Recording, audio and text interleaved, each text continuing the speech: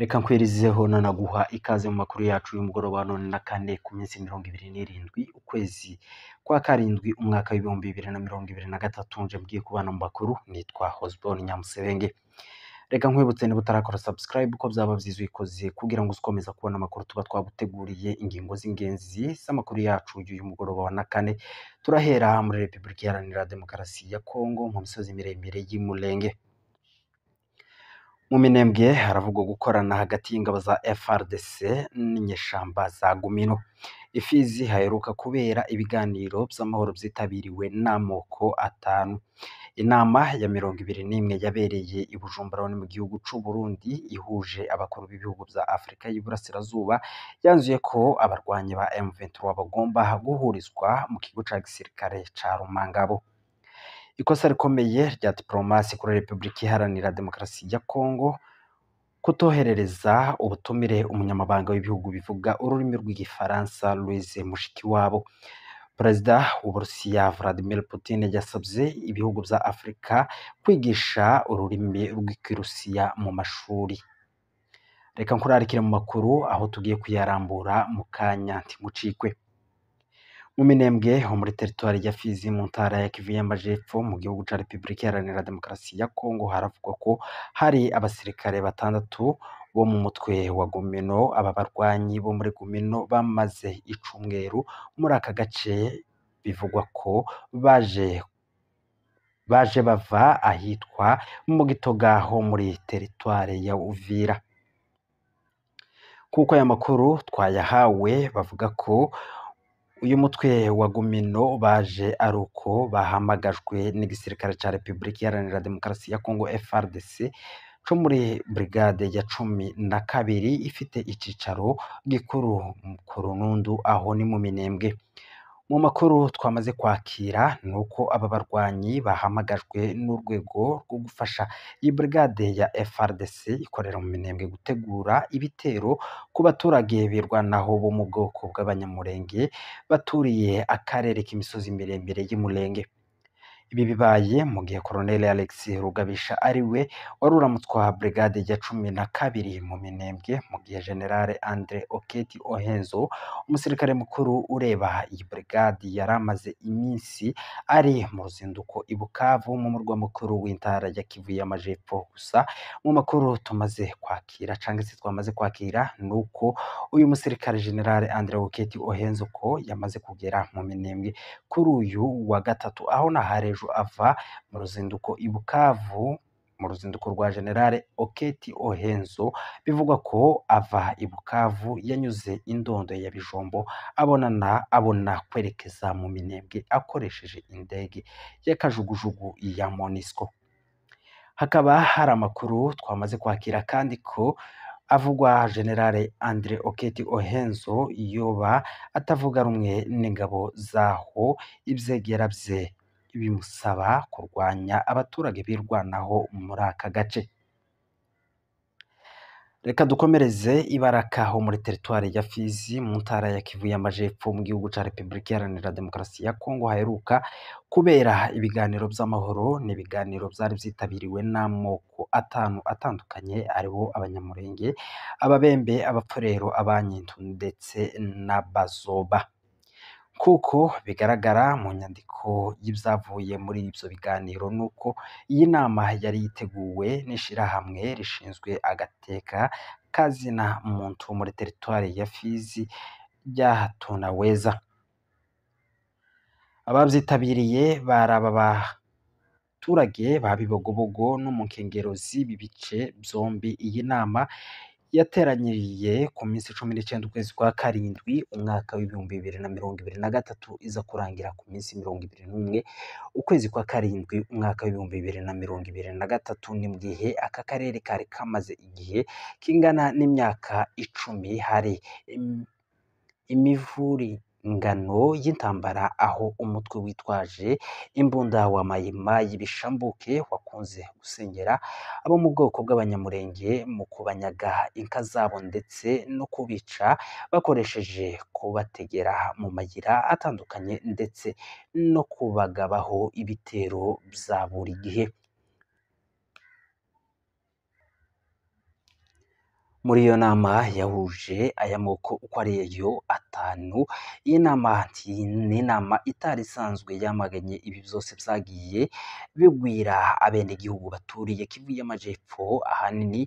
muri Baraka na Bibogobogo mu myanzuro yafashwe nuko bumvikanye gushakira akarere ka Fizi amahoro ndetse no kurwanya icaza cose gishaka gusubiza abaturiye utwo duce mu bibazo by'intambara. Gusa ibiganiro by'amahoro muri repubulika iharanira demokarasi ya kongo byagiye bihabera ahatandukanye ariko gutora umuti w'amahoro bisa n'ibyabaye ikibazo muri iki gihugu cya repubulika iharanira demokarasi ya kongo inama idasanzwe ya mirongo ibiri na rimwe yabereye mu gihugu cy'u Burundi yahuje abayobozi b'ibihugu by'umuryango wa Afurika y'Iburasirazuba i Bujumbura ni mu gihugu cy'u Burundi. Ku minsi mirongo itatu no mu kwezi kwa gatandatu muri uyu mwaka yanzuye ko abarwanyi bo mu mutwe wa M23 bagomba guhurizwa mu kigo ca gisirikare ca Rumangabo mbere yo kujanwa ikindu kwamburwa intwaro no gusubizwa mu buzima busanzwe. Ni gahunda yari yabanje gutekerezwaho na guverinoma ya repubulika iharanira demokarasi ya kongo ibifashijwemo n'umuryango w'abibumbye ndetse n'imiryango y'ibihugu by'akarere. Ka repubulika iharanira demokarasi ya kongo iherereyemo. Mu gihe byari byitezwe ko M23 igomba guhurizwa muri Rumangabo mbere yo kujanwa ikindu ho mu ntara ya Maniema kuri ubu imirimo yo gutunganya kiriya kigo ca gisirikare yagombaga kubanziriza iriya gahunda ntabwo iratangira. M23 karumwe mu mpande zirebwa n'iyo gahunda isaba niyagometse ihitamo gutsimbarara ku cemezo cayo c'uko nta biganiro n'ubutegetsi bwa repubulika iharanira demokarasi ya kongo buyobowe na perezida felix antoine tshisekedi bidakunze ko baganira nabo batazemera kurambika intwaro hasi kugira ngo bajanwe mu kigo ca rumangabo. Ingengabihe y'umuryango wa afurika y'iburasirazuba yateganyaga ku minsi mirongo itatu ko z'ukwezi kwa gatandatu ko kaho ariko kwezi ntarengwa kuba M23 yamaze kuva mu duce twose tw'intara ya Kivu y'Amajaruguru yari yigaruriwe gusa amakuru avuga ko hari tumwe mu duce tukigenzurwa n'uriye mutwe w'inyeshamba wa M23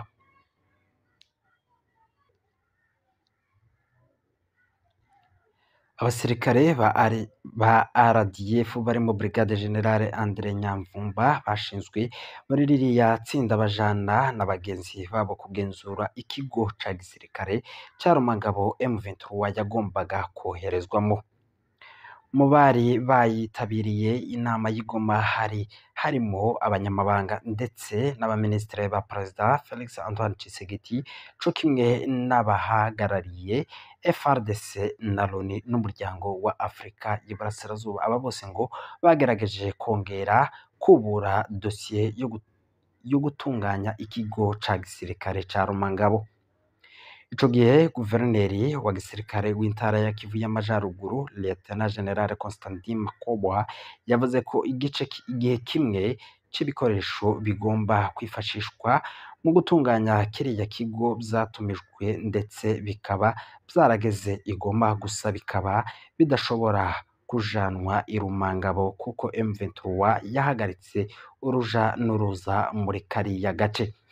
Leta ya kongo ikomeje gutsimbarara ko itazigera yicarana ku meza y'ibiganiro n'umutwe wa M23 nubwo yabisabwe n'aba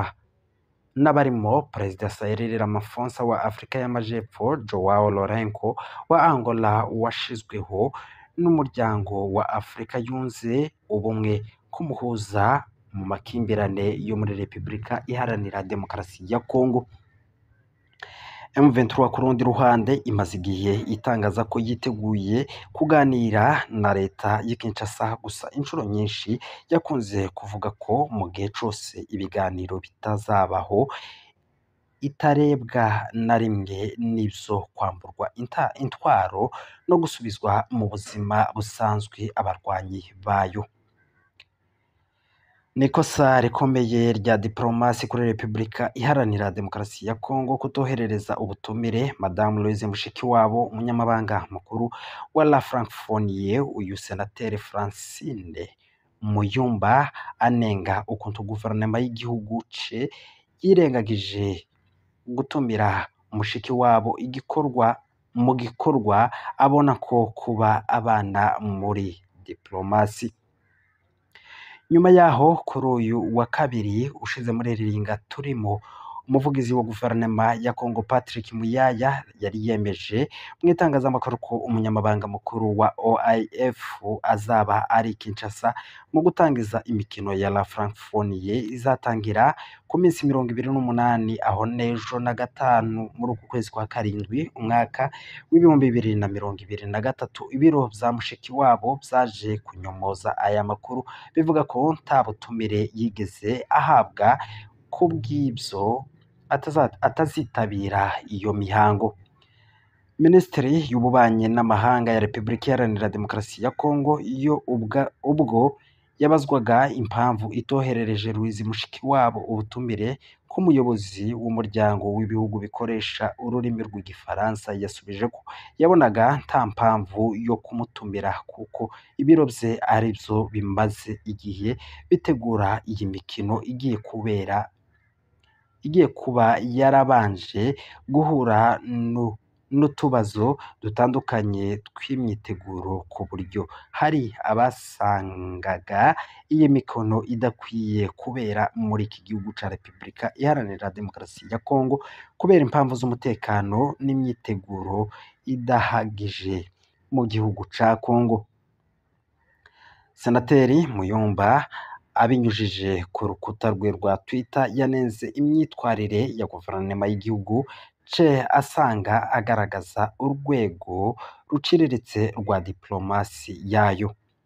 Yakomeje avuga ko nubwo ntashigikiye uyu ubushotoranyi bw'u rwanda namaganye iyi migirire isubiza hasi repubulika iharanira demokarasi ya kongo kuko madamu mushikiwabo n'umunyamabanga mukuru wa oif kandi nta murimo n'umwe afite mu rwanda muri iki gihe. Yakomeje avuga ko nubwo ntembera ibikorwa bitemewe by'u rwanda mu bigo mpuzamahanga binyuze mu baruhagarariye mu kurwanya kongo n'inshingano za repubulika iharanira demokarasi ya kongo kwerekana ubukuru.